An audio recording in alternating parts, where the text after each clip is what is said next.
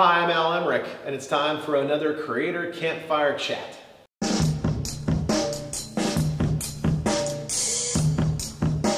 Imagine being able to pitch someone on your idea, engage them with incredible enthusiasm so that they're enthralled by what you have to say.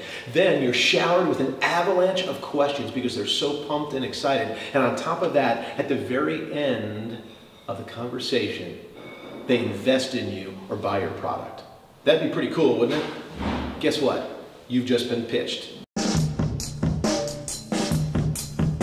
If I'm guessing right, you're still hanging around. And hopefully I did a successful job, if you are, of giving you my elevator pitch for this segment.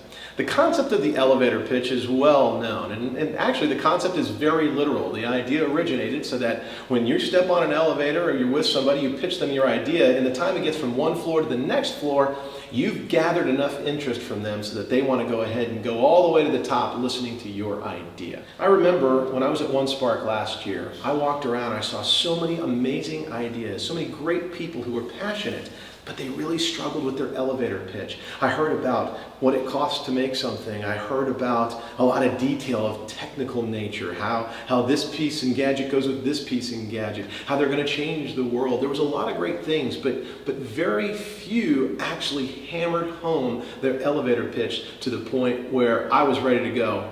Boom, I'm there, tell me more. And that's the whole purpose of this segment, is to help you shape your elevator pitch. And there's three core elements that I like to use or talk about when it comes to shaping and crafting your elevator pitch. And it's literally uh, an analogy to baseball. Number one is the pitch itself. Secondly is the catch. And then the third important element is what we call the pickoff move. So one of the reasons I use the analogy of baseball when it comes to your, your elevator pitch is the idea that everybody loves the fastball. It's still America's favorite pitch, and nothing's more amazing when you see a 100 mile an hour fastball zinging in there. Well, that's what your situation has to be like at One Spark.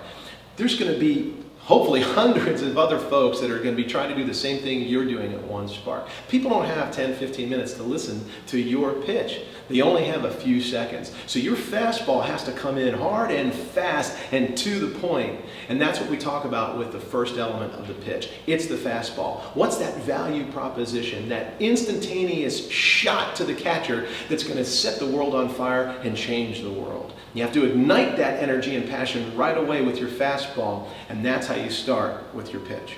So the second element is the catch. Make sure that person actually catches what you're saying. Now, if your pitch is crisp, clear, concise, and to the point, then you increase the likelihood that they're going to catch it. And how do you know if they're catching it? Well, first of all, are they actively engaged with you? Are they looking at you? Are they listening? Are they shaking their head? Are they asking questions or at least physically looking like they're engaged with you? That's how you know at least at surface value that somebody has caught what you're saying. If they do start to ask questions and they hang around for more than that 10, 15 seconds that you, you pitched them to, then guess what? You're halfway there. That's the catch to move on your way to success.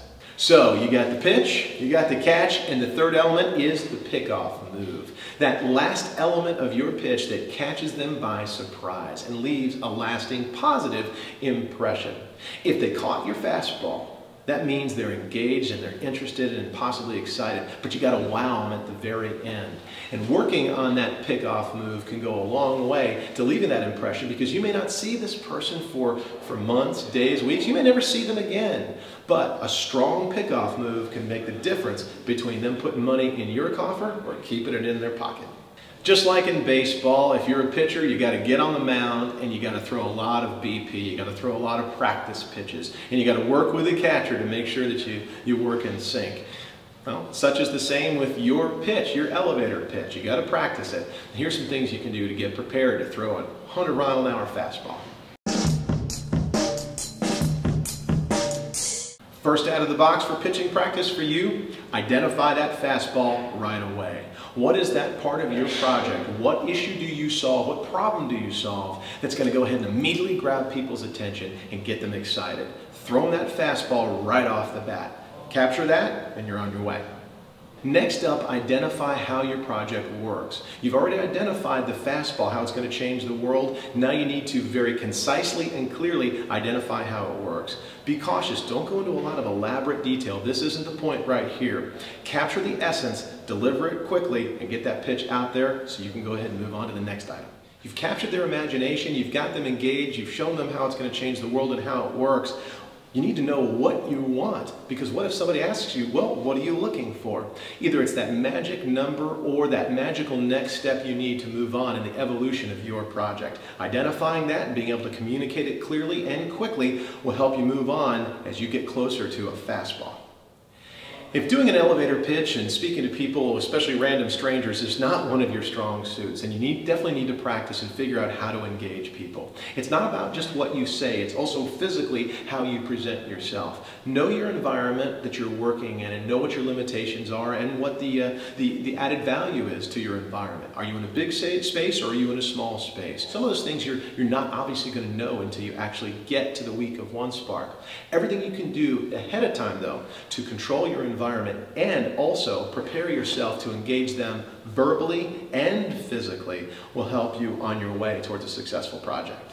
Make it easy for people to contact you. This was one of the most surprising parts of, uh, of last year. In talking to a lot of folks, they fumbled to go ahead and communicate as, as I was walking away how I can contact them. You'd think it'd be easy, but believe it or not, a lot of folks forget. Either have that business card ready in your pocket or some other unique communication tool so that if they're engaged, whether they said they're going to give you money or not, okay, if they're engaged, they can contact you directly. And don't be afraid to ask them for their contact information and have that close by, whether you're doing it electronically or whether you're doing it manually on paper.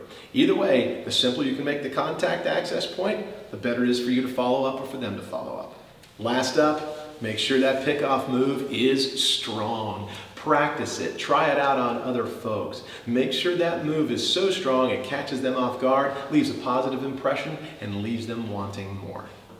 I can't underscore enough how important it is that you practice your elevator pitch. Not practice it to the point where it sounds rehearsed, but practice it enough to where it's, it's part of you. It's, it's part of your regular cadence. Whether you're an expert at this and you've done it a million times or whether you're a rookie out there, if you've got a good plan and a strategy and you work on it and you try different approaches and you get feedback from others, that diverse talent pool, if you will, that's, that's in your toolbox, your toolkit, then you'll be better prepared for a fastball that's over 100 miles an hour, that's catchable with a pickoff move that's a big, strong close and gets the win.